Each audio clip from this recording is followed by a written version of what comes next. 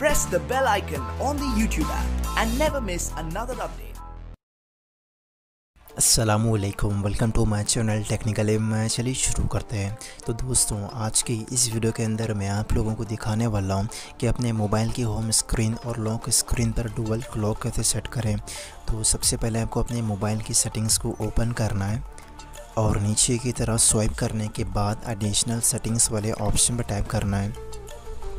अभी यहाँ फ़र्स्ट में डेट एंड टाइम वाले ऑप्शन में क्लिक करेंगे तो वह आपको डेट एंड टाइम की सेटिंग्स मिल जाएगी।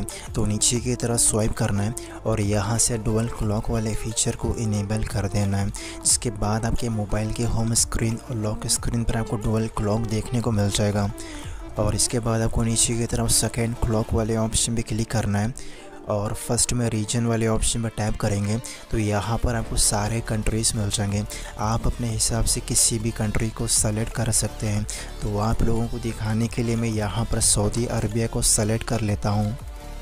और नीचे की तरफ़ से आप टाइम जोन को भी सेलेक्ट कर सकते हैं, लेकिन वो कुछ कंट्रीज़ पर अवेलेबल है। तो जैसा कि होम स्क्रीन पर आप देख सकते हैं, यहाँ पर मुझे डुअल क्लॉक देखने को मिल चुका है। और इसके बाद चलते हैं मोबाइल के लॉक स्क्रीन पर। और जैसा कि लोग स्क्रीन पर भी आप देख सकते हैं, यहाँ पर आपको डोल क्लॉक देखने को मिल जाएगा।